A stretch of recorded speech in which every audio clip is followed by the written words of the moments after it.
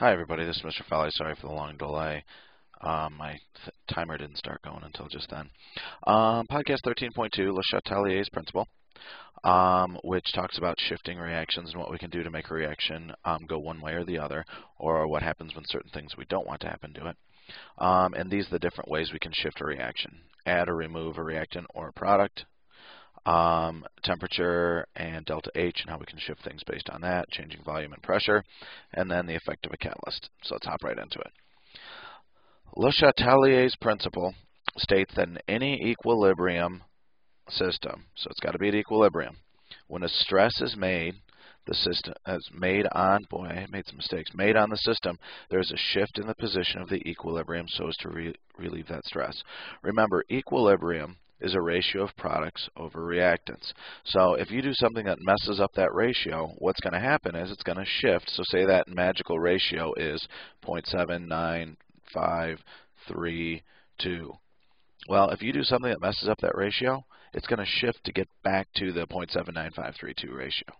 So that's what's going on. Examples of stresses adding or removing a substance. So if you remove something, that means you would be removing, say, part of your reactants. Well, if you remove your reactants, that means your ratio is going to get bigger. And then if your ratio gets bigger, equilibrium will reestablish itself by shifting to get back to the original thing. Now, how do you remove a, a substance? The way you remove it is by precipitation or side reactions.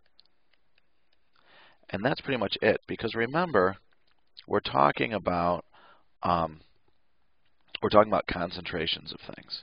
So that means they have to be aqueous or a gas. And if you're talking about things that are aqueous or a gas, then you'd have to pick out individual particles, and you can't really do that besides precipitation, which is an example of a side reaction. Temperature, you can heat it up or cool it down. Um, pressure, the way you change pressure is by changing volume. So volume and pressure are related, but they are inversely related and we'll get to that in a minute. He's um, using some examples. Here we go, hopefully. There we go. So if I increase the pressure, so here's my reaction. Nitrogen plus hydrogen makes ammonia. And delta H is negative 92. So if I increase the pressure, pressure it's going to shift to the right-hand side. Hmm. Increasing the pressure, so if I had a big box, what I want to do is have wonderful. So sure it shifts to the right hand side. The reason is it shifts toward ah, less gas.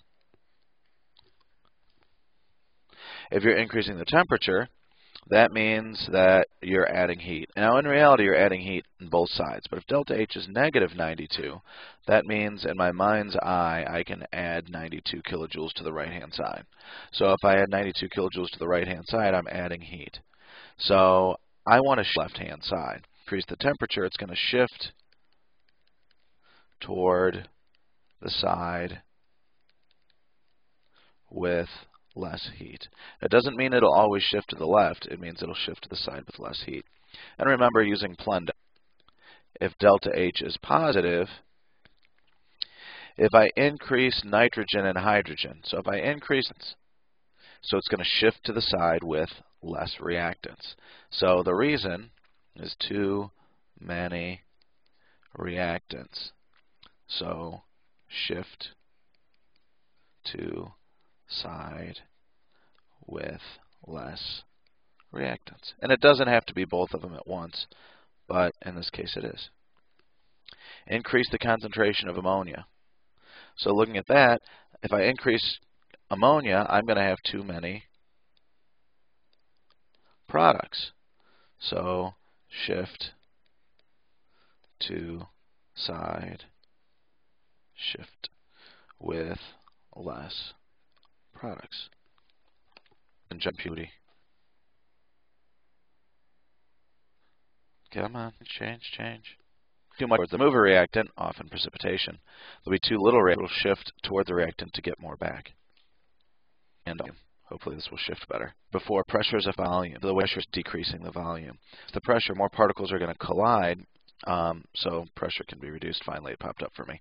Increased pressure can be reduced by shifting towards the side with less gas. Remember, I drew the little pictures.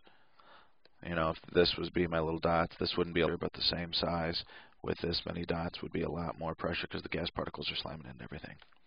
Decreased pressure can be increased by shifting this. So heat or temperature. Woohoo.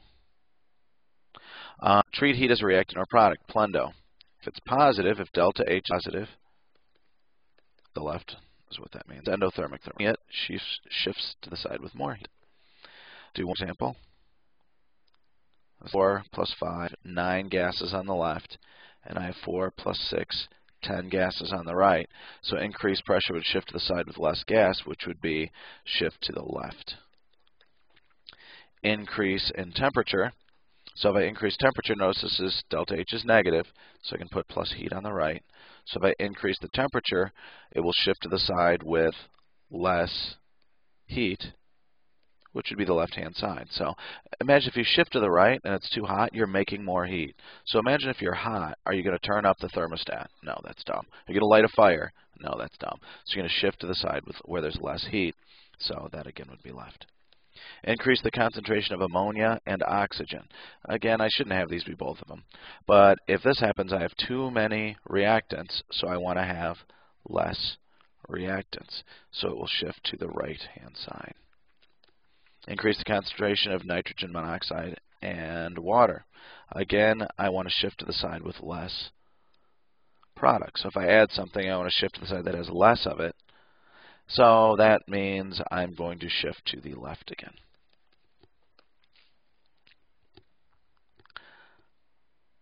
All right, a catalyst speeds up a reaction. Here's a little energy hill picture. Whee! Um, and then if I wanted to have my catalyst, I would show it as a little shortened one. So my blue one would be the catalyst path. So does it speed up the forward or reverse reaction? Okay, so if I call the left-hand side my reactants, the right-hand side my products, my activation energy is less going from left to right. But going from right to left, my activation energy is also less. So it speeds up both of them. So equilibrium is achieved faster. It does not affect Kc, so no shift in equilibrium. Yeah, review, and we'll make it here in really, really, really short time. Le Chatelier says if you stress a system, it will shift to relieve the stress.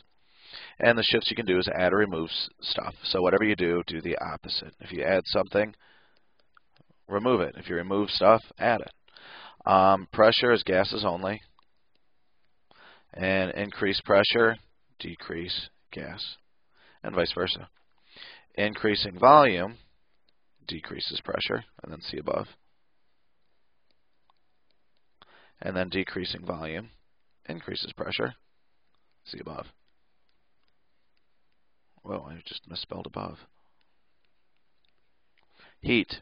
Remember Plendo and treat it like a reactant or a product.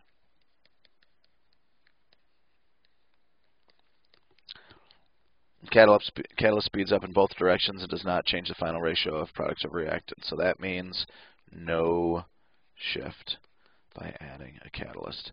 And that's it. And we're out of here in under nine minutes. Woohoo, woohoo. Have a good one. Eat more candy. Bye.